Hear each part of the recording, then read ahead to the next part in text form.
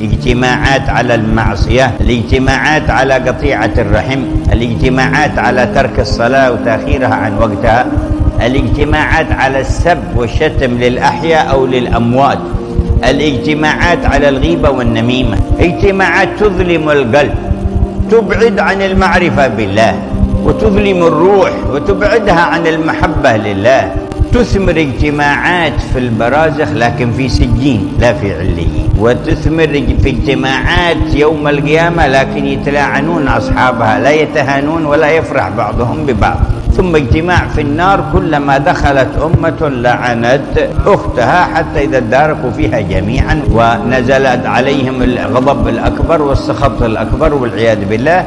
وإذا نادوا مالك يا مالك يا مالك يا مالك مقدار ألف سنة التفت إليهم ما لكم يا أهل النار؟ قالوا ليقضي علينا ربك. قال إنكم ماكثون محلكم. ما شيء قضاء ها؟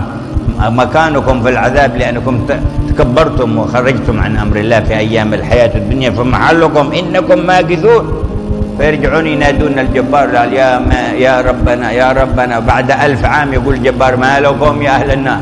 قالوا ربنا غلبت علينا شقوتنا وكنا قوما ضالين. ربنا أخرجنا منها فإن عدنا فإنا ظالمون. فيأتيهم الجواب الشديد الكبير قال اخسئوا فيها ولا تكلموا.